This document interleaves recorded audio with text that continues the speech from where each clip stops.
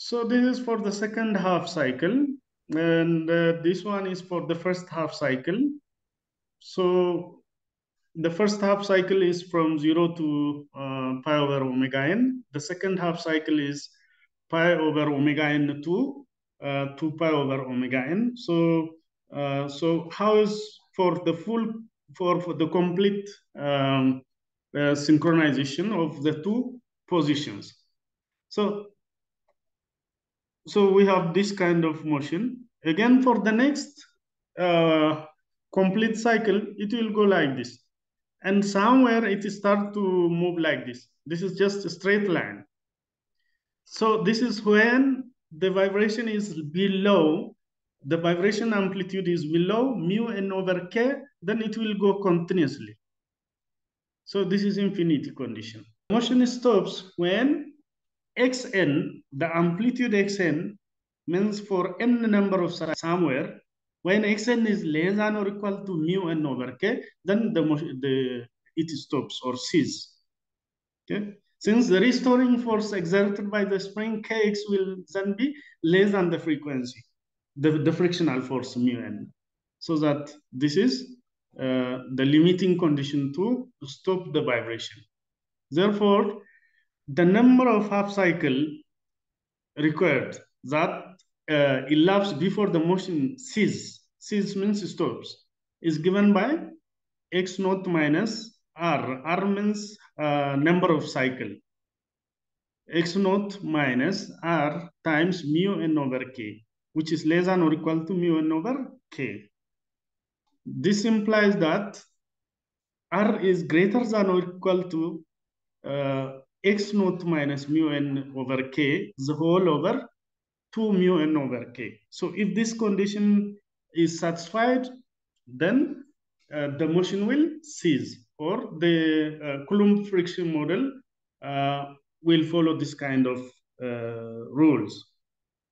So this is the way how uh, this energy dissipation take place in the Coulomb damping.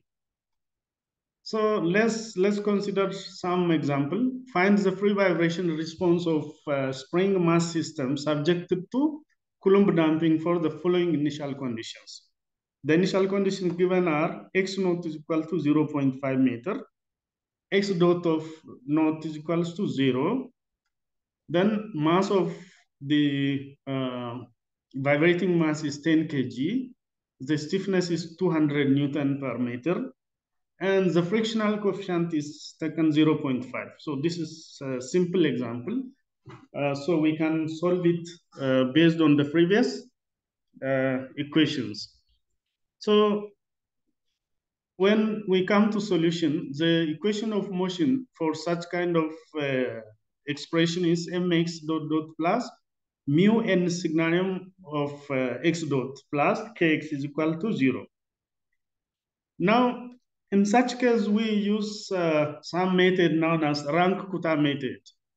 So Runge-Kutta method is a kind of helpful method in uh, uh, solving such kind of nonlinear equations. This is kind of nonlinear equation. So we can use various method to uh, express nonlinear equations. So in the uh, in this case, x1 is equal to x of t, x2 is equals to x1 dot, x1 dot. This is the uh, elimination method of Runge-Kutta method, okay? So it, let x2 is equals to x dot of t, and x1 is simply x of t. So this x2 is represented as f of f1 of x1 and x2, and x2 is equals to x2 dot means we are now differentiating or derivating this one. x2 dot means x dot dot of t. That means uh, we substitute simple uh, means we are minimizing the equation to only uh, x and x dot only. So let x2 dot is equal to x dot dot of t, which is equal to minus of mu uh, signarium of x2 minus k over m x1, which is equal to f of 2, as f, f of 2 is a function of x1 and x2. So both of them are F1 and F2 are the function of X1 and X2. So in this representation or this Runge-Kutta representation, uh, we substitute uh, equation 2 and equation 3 can be represented in matrix form now. This is the matrix form of representation. So the vector form. X vector x dot is equals to f of vector f of x. This x is the maximum amplitude function where x vector is equals to x1 of t, x2 of t.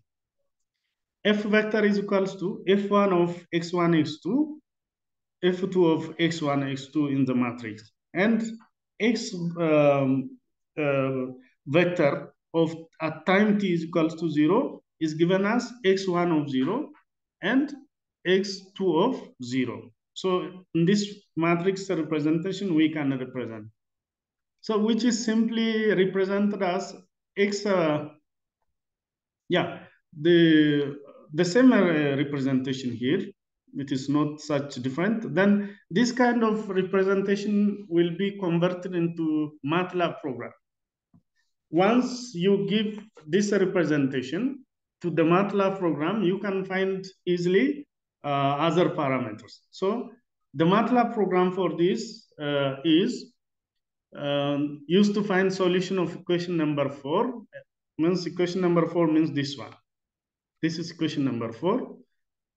So for that, what we can do? Um, that percentage of uh, EX to uh, Actually, this is just a MATLAB program which contains all the important parameters. The initial conditions are represented here. Um, what we are finding with respect to time is represented here. You can float it and you can X label, Y label, means X label in our case is time and the Y labels is in our case is amplitude. So give some title for the example, and then finally you can find some function of. So this needs some MATLAB program actually.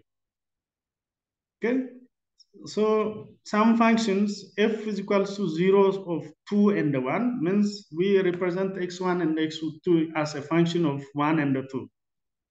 F1 is equal to x of 2. f2 is equals to half this uh, Actually, 9.81 is the G value. Uh, instead of weight, um, we use mg. Okay, so again, so that is a synonym of x of 2. x of 2 means x, x dot dot. So it is like that. So that maybe gives you uh, an expression like this. But this we can uh, solve it with uh, uh analytically not only MATLAB, but in analytical method also we can solve it.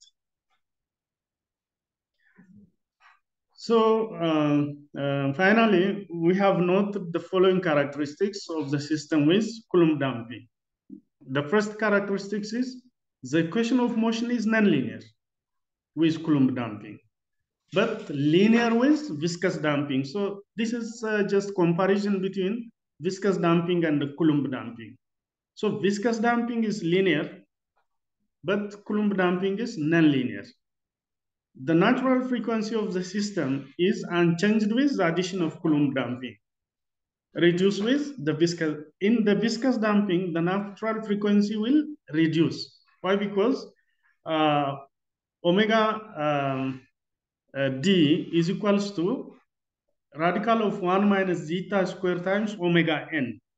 So omega n is equals to omega d over, over radical of 1 minus uh, uh, 1 minus zeta square. So because of that, uh, in the case of viscous damping, natural frequency uh, is decreasing.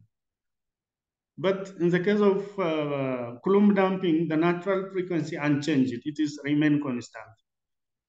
The motion is periodic with Coulomb damping means there are a periodic decrement. The decrement in amplitude is periodically that it is uh, minus of mu n over k for every half cycle. While uh, non-periodic with the viscous damping. because that is logarithmic decrement. What we can observe from the um, viscous damping is logarithmic decrement of uh, amplitude. But uh, in the case of Coulomb damping, it is just constant uh, decrement so that it is kind of parity. The system comes to rest after sometimes with Coulomb damping. That means once um, the amplitude, the maximum, maximum amplitude is less than uh, mu n over k, then the uh, vibration will cease. But in the case of uh, viscous damping, it remain um, going because of uh, uh, some effect. Okay, so the amplitude reads linearly with Coulomb damping. Yes, it is linear because it is constant, having constant reduction of amplitude. But uh, the amplitude reduces exponentially with, viscous. Yes, it is exponential or logarithmic decrement. That is of the um, uh, e is the power of uh, minus um, that vibrate zeta. That we can relate it even with the damping. So this is the conclusion for uh, this topic. So in each successive cycle, the amplitude of motion are reduced by the amount for mu n over k. For full complete cycle, the amplitude reduction is 4 mu n over k. In the case of uh, uh, this, uh, what we call friction damping. As the amplitude is reduced by an amount of 4 mu n over k in one cycle, that means one cycle means 0 to 2 pi over omega n time. So the slope of the enveloping straight line uh, is, uh, it is just minus of mu n omega n over pi k. That is the slope of the uh, curve at any point. Okay, so that is for the uh, hysteretic cycle. So no, not hysteretic cycle, but frictional cycle. Okay, so uh, this is all about the uh, Coulomb friction. So if you have any question. Hello? ಬನಿ ಬಕುಲ್ ಇಲ್ಲ ಬನಿ ಬಕುಲ್ ಇಲ್ಲ doctor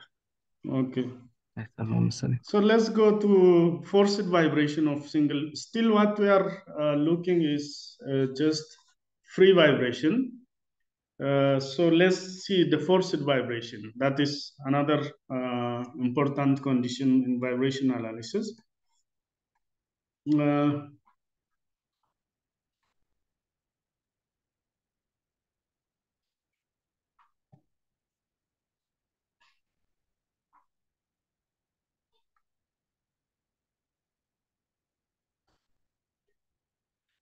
okay.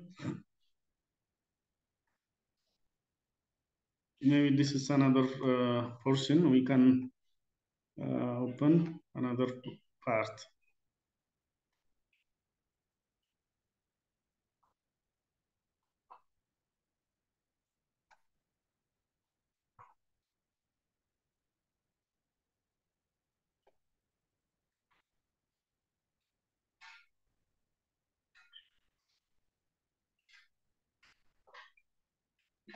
Yeah, hysteretics, hysteresis now.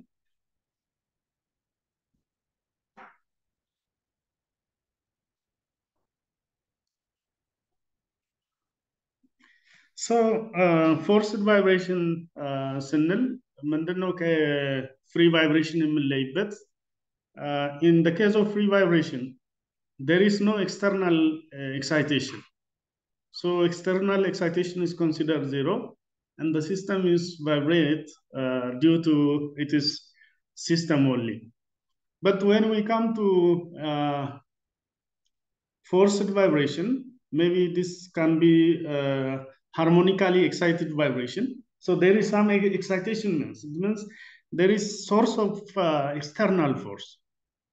So if the source of external force is applied, look, this is a spring damper system with some force. There is external force which is applied and it is vibrating in this direction. Okay, about its mean position. So if you take this free body diagram, the force is applied in this direction, Ft, and this is accelerating like this. So x dot dot is there, kx, cx dot. So this is the free body diagram of the system. So this is the uh, physical system and the free body diagram. So the equation of motion for this type of is uh, mx dot dot plus cx dot plus kx is equal to f of t. f of t is the external force. so if we consider uh, harmonic force, the solution is very easy. Okay, that means in most most of the case, if this f of t is harmonic, that means it is either of in terms of sine omega t or cos omega t we can express. Or another harmonic condition is the exponential, actually not harmonic, but this is exponential form. f of t is equal to f naught e, the power of j omega t. Means j means the complex conjugate or the complex number system. So we can represent the harmonic motion in terms of sine and the cos. Okay? So f naught is the maximum initial amplitude here. Here, what you see f naught is the maximum initial, the maximum amplitude. Okay, so uh, then we can consider uh, mx dot dot plus cx dot plus kx is equal to f naught e, uh, the, the rest to uh, j omega t, or sometimes you can use i omega t. Okay, so this is equation of motion for harmonic excitation. So once the this component of force is known, then the solution is easy because we can consider similar solution for uh, mx dot dot plus cx dot plus kx is equal to zero condition. That means homogeneous equation condition. The second order uh, differential equation, which is equal to zero means homogeneous. But now it is not homogeneous. It is uh, forced condition, so non-homogeneous equation. So if we consider this type of equation, uh, this is the second order differential equation is non-homogeneous and its solution has two parts. One of the part is complementary function. That is called transient response. And it is the solution for the homogeneous equation as described before. Because if it, le uh, mx dot dot plus cx dot is plus kx is equal to zero is the homogeneous equation. Second order uh, differential equation of homogeneous type. For, for that, we have a transient equations like x of t is equals to e raised to minus zeta omega n t the whole times c1 cos omega dt plus c2 sine omega dt. This is for the homogeneous part of the solution. And the second one is particular solution, which is steady state response. The steady state response um, is for the particular solution. That means for the uh, forcing condition. So it is solution for non-homogeneous equation because the force or the excitation is harmonic with frequency W we can expect uh, that the response or the solution is harmonic with the same frequency. So we have two components. That means x of t is equals to x complementary plus x particular. That is the solution. So it needs your, your knowledge of the linear algebra. Please refer your linear algebra course in detail to understand this thing. So x particular is equal to x E, uh, this seems like the initial solution, F naught E, uh, the raised to J omega T. Similar to that, X particular is equal to X or X times E J omega T, similar thing. If this is cos function, then this one will, will be cos. If this is sine function, then this equation will be sine. So we resemble it with the existing force function here. And sometimes force and the cos may be combined together here. So we combine such the combination of the two. So this X bar here is called the steady state response amplitude. Okay. And C1 and C2 are some arbitrary constants which should be determined from initial condition. Okay, so the final response of such or the final solution for such kind of uh, equation is x of t is equals to x complementary plus x particular. Okay, so that means our solution contains e raised to uh, zeta omega n t the whole times c1 cos omega dt plus c2 sine omega tt plus x bar e raised to j omega t. So that is the uh, full solution. Yeah. So this is for harmonically excited kind of vibration. And then once we substitute um, values for uh, for the solution, then finally what we can get x bar is equal to f naught over k minus omega square m plus jc the uh, omega. So this is x bar, the solution for the maximum amplitude of the uh, particular solution. Okay, so by uh, writing k minus omega square m plus jc uh, omega as means uh, these are the way how we can uh, represent uh, maximum amplitude condition. So uh, we'll discuss this thing once I arrive there to you personally, how we can get this equation and how we can relate this equation with this, okay? So, and then x particular is equals to uh, x bar, the norm of f naught over k, just take out k from here. Take out k from here. So it becomes omega square over ah, m over k here. Okay, so that k will be distributed over here, cw over k here. Then that k will go to top f naught over k. So f naught over k is a static deflection of uh, the given vibrating system actually. Okay, so here it is 1, here it is omega square over omega square times m over k. So as you know, k over m is radical of natural frequency. It is natural frequency. Okay, so from that, uh, it gives you f naught over k, 1 minus r means omega over omega n. Why? Because uh, if you substitute uh, m over k or k over m here, then it becomes omega square over omega square is the frequency ratio, r frequency ratio R. And this CW over K becomes 2 zeta R. 2 zeta R. Okay, so that becomes, yeah, here 1 minus R square, R, R uh, just R means omega over omega n. So that 1 minus R square the whole square plus 2 zeta R the whole square.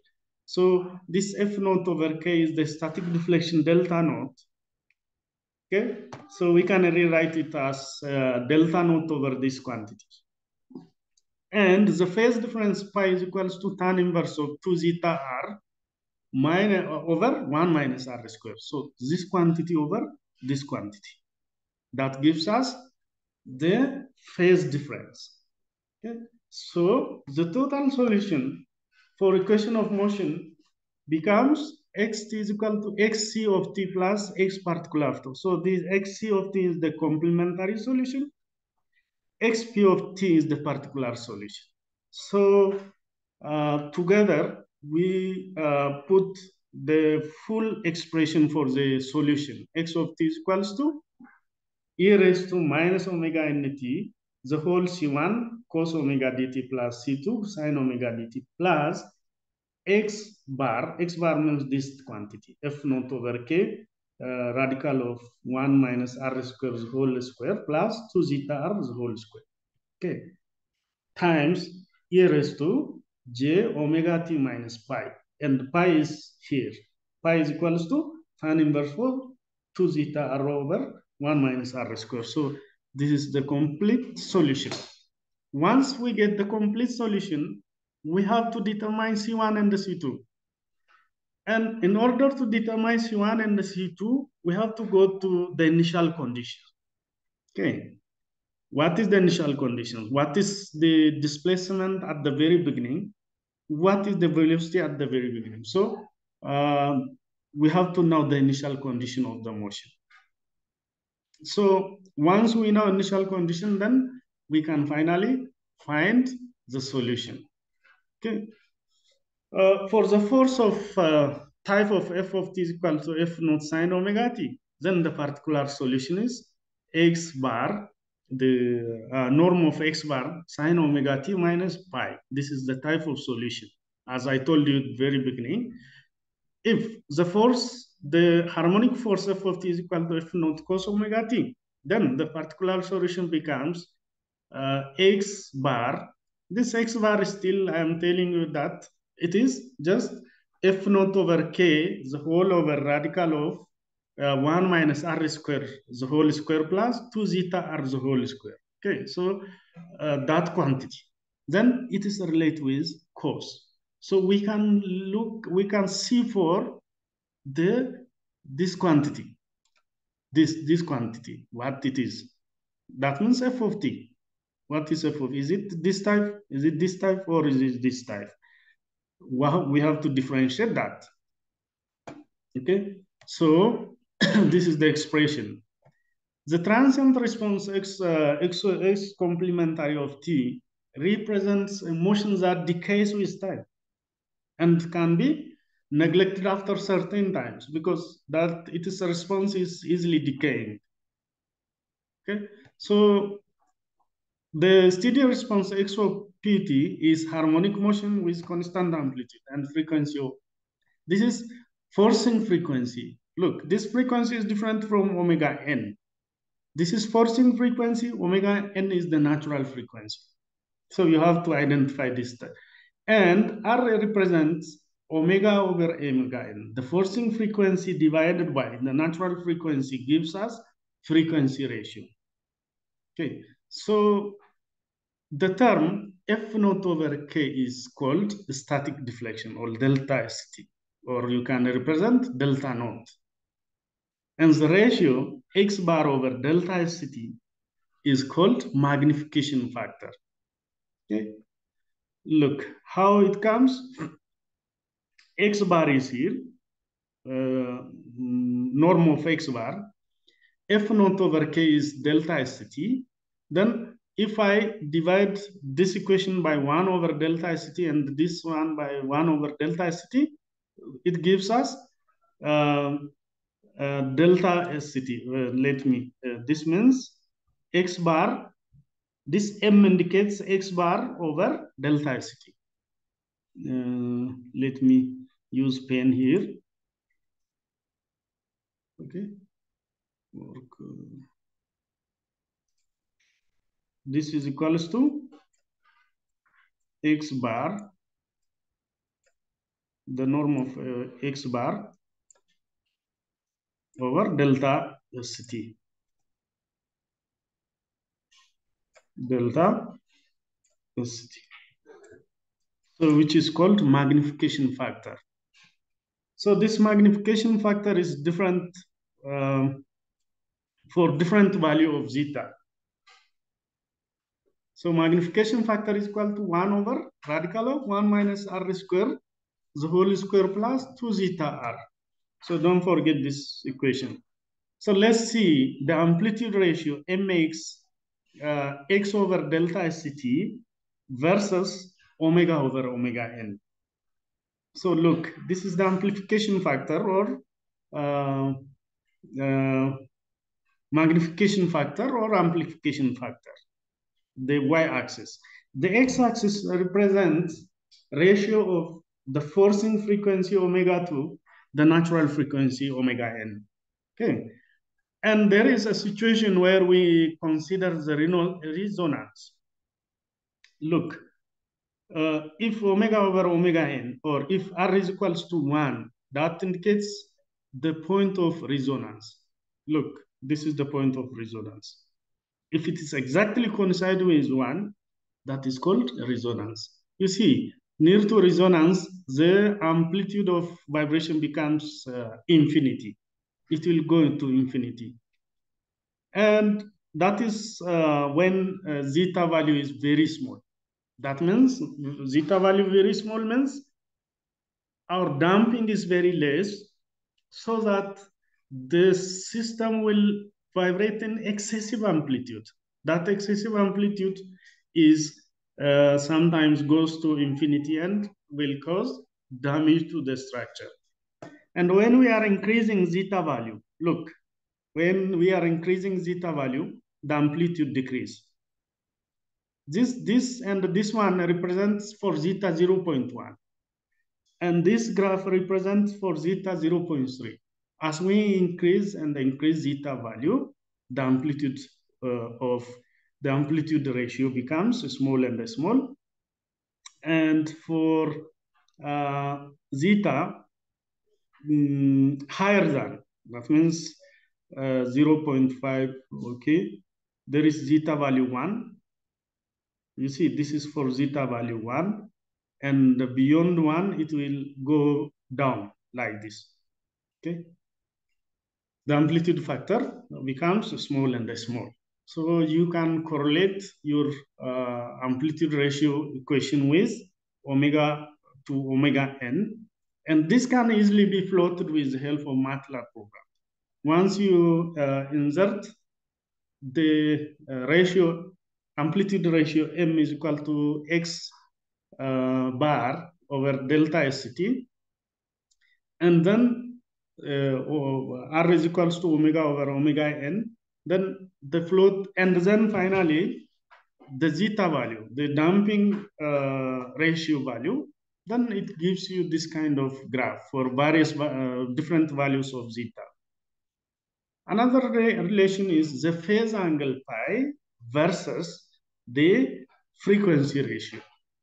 The phase angle pi versus uh, uh, versus frequency ratio. For that, you can find, um, uh, look, 0 degree, 30 degree, 60, 90, uh, 120, 180, and uh, 50 and 80 for every 330 angle difference. And then uh, from 0 to some 3, omega over omega n, or r value 0 to 3, you can plot this kind of graph in your MATLAB for various value of uh, zeta. For zeta value, very small, look, if zeta is zero, this is the graph. Can you see? This is a graph, straight line at 180 degree. That is only for the zeta value zero. Here also, this is for zero zeta value. You can find this line. Uh, for higher zeta value, uh, you can see, uh, again, yeah, zeta value zero, it is straight line like this. Straight, straight, straight. This is for zeta value zero. As zeta value increase from zero to 0 0.05, you can find this type of graph, this graph. Okay. Uh, as you increase zeta value, you can find this graph. Again, for higher zeta value, again for higher, for critical damping conditions, zeta is equals to one. This, this graph indicates zeta is equals to one condition. It is like this. Okay, so these are uh, the graphical representation of uh, magnification factor n and the phase angle pi with respect to uh, frequency ratio and the damping factor. So what we have observed in damped forced vibration system, this is called damped forced system. Uh, for zeta is equal to zero, the system reduces and becomes undamped. For any amount of zeta greater than zero, the amplitude of vibration decrease. Uh, that is reduction in the magnification factor. This is, um, And for the case, uh, R is equals to zero. R is equal to zero means uh, omega over omega n is zero. The magnification factor equals one. Okay, that means we can go here. Exactly at R R is zero. R zero means omega over omega m, n is zero at this point. At this line, it is the amplification factor is one. That means x over x delta t is equal to one. That means x is equal to delta st. So this is the point. So the amplitude of the forced vibration uh, approach zero when the frequency ratio approach to infinity. So if frequency ratio is going uh, very far, so the amplitude of forced vibration uh, approach to zero. That is the meaning. So uh, yeah, so this is um, uh, what we have discussed today. Mm, anyways, let's let's summarize some important points. Okay, variation of displacement when uh, with frequency. Okay, so we have this equation f naught over k rad, uh, over the whole over radical of 1 minus r squared the whole square plus 2 zeta r the whole square, which is the solution set response amplitude. Okay, um, no, this is just um, because of it is non-homogeneous uh, component. Another uh, at low frequency R approaches zero, then x bar over f naught over k. x bar which is equals to uh, nearly equal to f naught over k. That means delta st, which means the displacement is stiffness control. No, how we can control? Uh, at lower value of r means uh, near to zero value, we can make stiffness control to mitigate the damp uh, vibration. This is the way how we can uh, mitigate vibration so that we can increase stiffer material for such case. For the value, um, R is greater than one. R is greater than one, than one means for this region, for this region, if R value is 1.2, 1.6, to like that, then it is mass control. We can increase mass in the system. If R is less than this one, it is near to zero. So around here, the R values, we can make stiffness control. Okay, that is the control mechanism for what we are designing our structure for vibration. So, which means we can, for R greater than uh, one, mass control is appropriate. R near to zero, stiffness control is appropriate. At the resonance point, the point where uh,